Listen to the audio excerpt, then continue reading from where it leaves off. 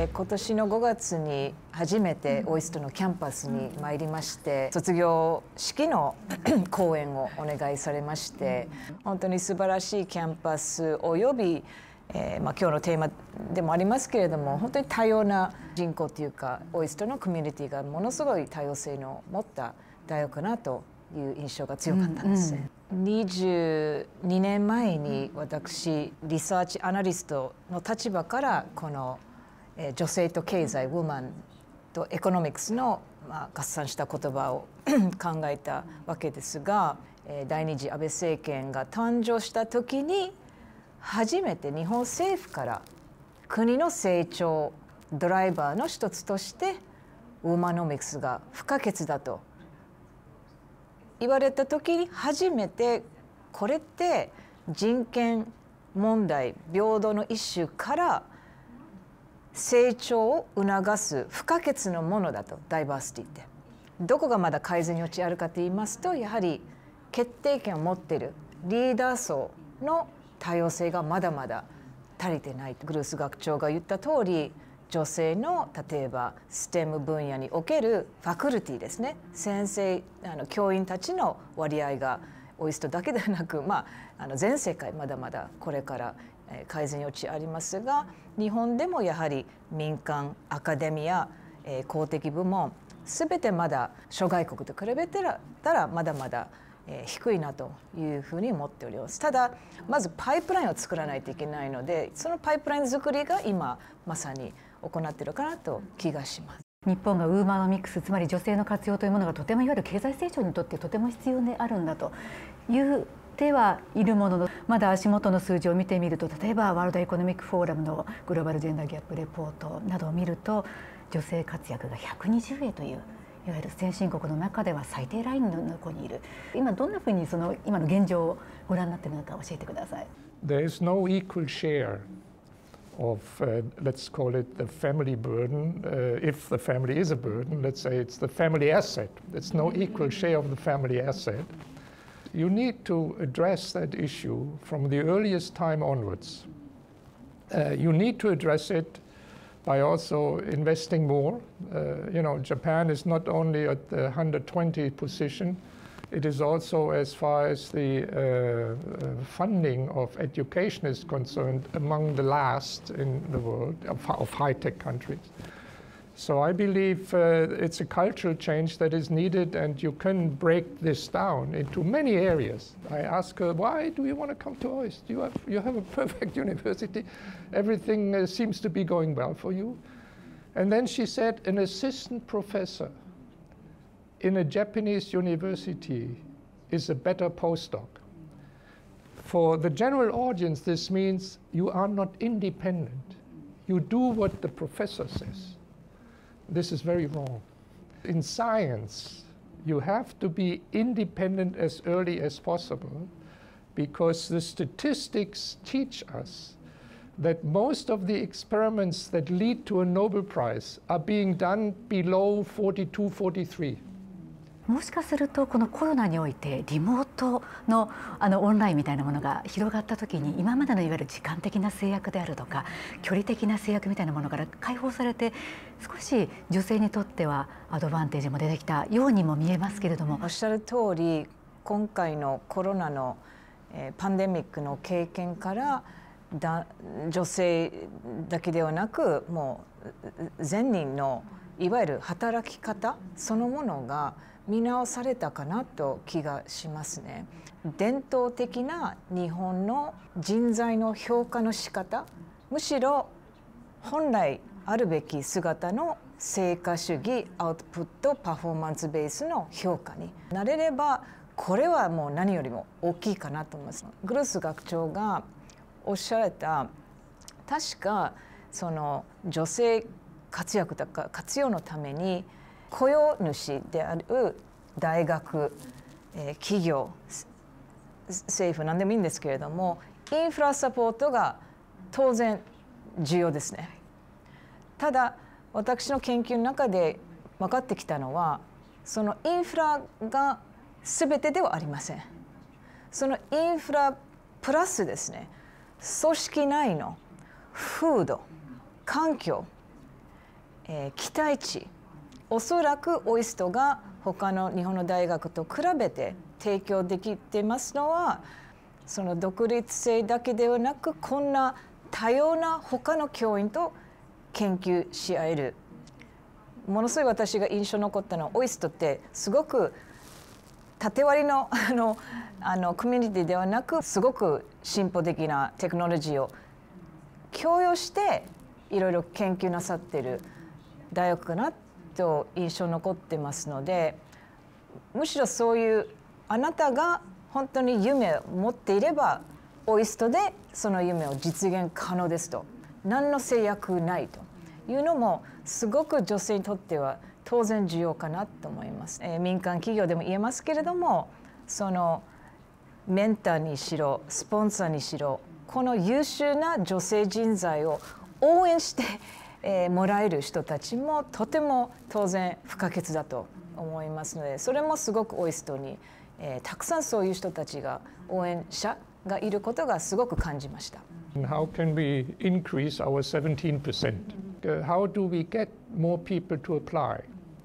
Well, there are a couple of tools. Of course, you have to select the media that are being read by women.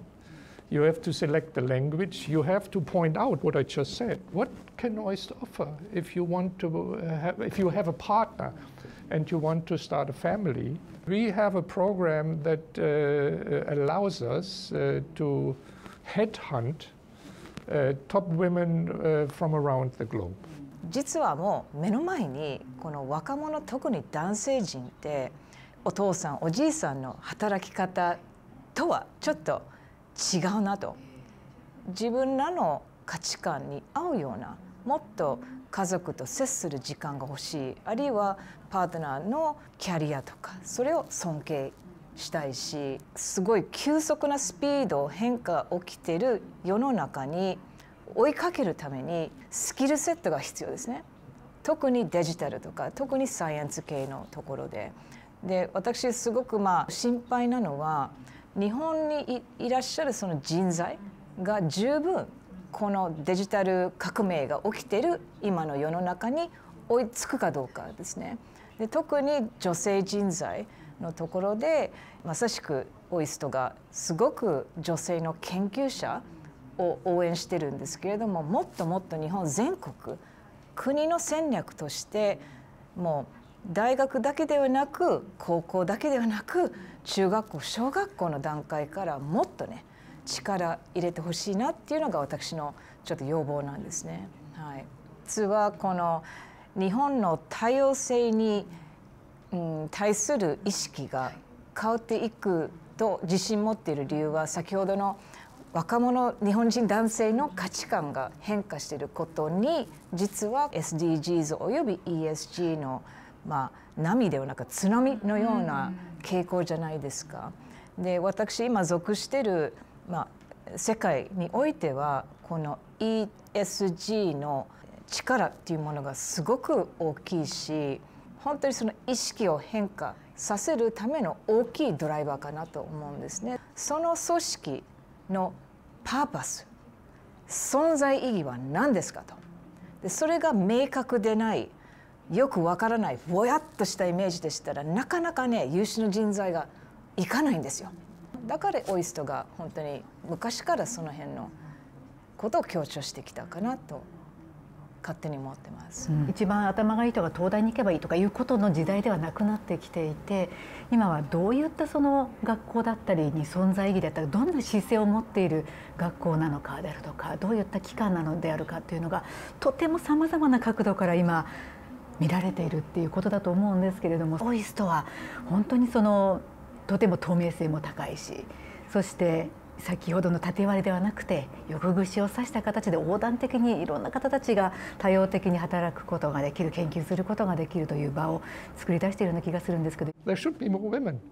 representing the, the Japanese people. You have to change your mind, mindset and you have to educate people at all levels. The society that gives up 50% of their productive, um, let's say, cohort cannot do as well as a society that uses it. If the voluntary action uh, doesn't work, I think you have to work with some rules. Unless there is a stronger push, it's not going to work. 今日本って何を今全面的に戦略をしてるかと言いますとグリーンとデジタルじゃないですか。この2つの言葉。ぴったりじゃないですかオイストに。その国の戦略にオイストというすごいもう目玉のような大学院大学が存在しているので本当にそれをもっと日本っていう国を誇り持ってそれをもっと全面的に押し出してもっとこの国からねどんどんどんどんいろんな、まあ、ユニコーンとかね 生まれていくのが考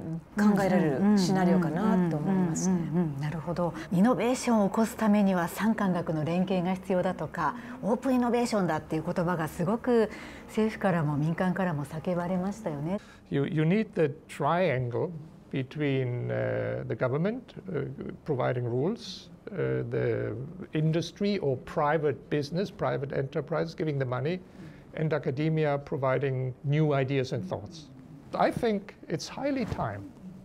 for the government to firstly advocate a structural change at the universities, this, uh, particularly the um, national universities. And it is highly time, in conjunction with a structural change, to provide more funding for Japan. Uh, we have been successful at the early, early this year. We collected 2 million uh, US from Beyond Next Venture for startups. And we have now three uh, offers to manage a fund that will be about 50 million US dollars. So 50 million US dollars at the early startup phase equals about 50 to 100 companies, startup companies. This is how OIST wants to operate in Okinawa, uh, which would improve the overall increase of salary in Okinawa remarkably. Okinawa, you, you may not know it, but has the lowest GDP per capita in all of Japan. So with something like this, it increases, but it is also serving as a model how one can do it in Japan. 国としてどういう日本の未来を目指しているのか暗い未来なのか明るい未来なのかおそらく明るい未来を目指そうと我々の子供孫たちがもっと元気な日本を作りたいというもしそれがビジョン。その中大事なステップはこういうアカデミックの力をもっと発揮すべき。で外から見ると日本って人材すっごく優秀な人材豊富な国。お金もう超築大国の国。アイディア技術かなり進歩的な技術を持っている国。じゃあなぜ何百社のユニコーン毎年出ないのかと一つの根っこにあるアカデミアの分野における諸外国と比べてどのぐらいスペンディングしているのか予算の中とかどういうふうにその予算が使われているのかどうかその効率の比較をしてみれば答えが出てくると思うんですね。そんな難しいことではありません。シンプルにその絵を描いてみれば皆さんついてくるかなと実は思うんですよ。うん、ですからまあ簡単ではないしあとやっぱり長期的なビジョンを持たないといけないんですね。ケシさんおっしゃってくださったように本当にみんなグリーンの方に向かっているとそして当然ながらもう一つ、まあ、デジタルっていうところにもこれも同じように向かっていると同じような条件で皆さんこう切磋琢磨をしているわけなんだけれどもこう本当に海外も全部こうグローバルによくご存知のお二人から見てですねその日本のこう勝ち方みたいなものがもしかしてあるのかもしれないっていうふうに思うんですよね。で例えばこの得意分野のところにもう少しリソースをもちろんコストも含めて投入したらばみたいなところがもしあの終わりでしたらぜひヒントをいただけたらなというふうに思うんですけど。We are in the beginning of a exponential increase in, of the fourth technological revolution. If Japan isn't adapting to quantum computing, cybersecurity, IT, to AI, to the change of the uh, intelligence in machines, Japan will not be competitive. I would push the absolute need to get into the startup market. If I was the government, I would actually do any, everything I can